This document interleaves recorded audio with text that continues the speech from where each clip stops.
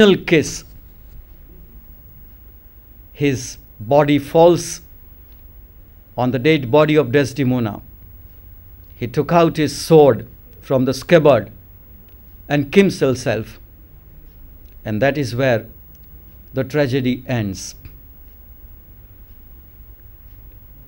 All Shakespearean tragedies, some critics say, are about the loss of human life. But that is inevitable. But the most important thing is that Shakespeare explores the innermost feelings which are buried deep into the human hearts, the labyrinth of human heart, the uncharted terrain, the turmoil and churning, as I said, which takes place in the mind and heart of the people. He explores the complexity of human relationships and human feelings. He guides us through the labyrinth of human heart and mind. And that is the real greatness of Shakespeare. We salute his genius. And today, in the 21st century also, the plays of Shakespeare are not only read and acted upon, but they are enjoyed by millions of people throughout the world.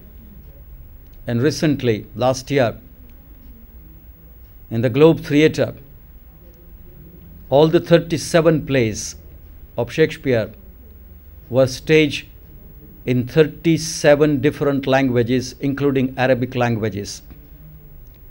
That shows that Shakespeare still lives and will continue to live in the years to come. We are grateful to the Almighty for gifting this dramatic genius, this great poet, to the world. With that, we end our discussion on Othello, the Moor.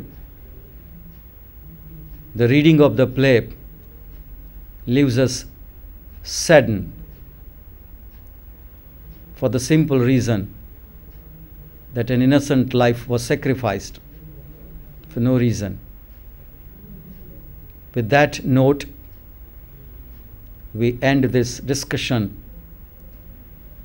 on Othello. Thank you very much.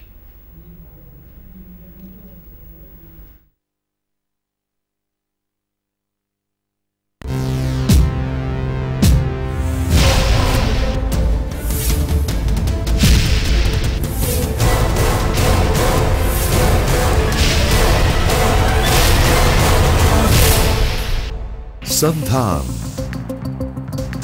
All Gujarat integrated classroom સેટેલાઇટના માધ્યમથી જોડતી કડી એટલે સંધાન.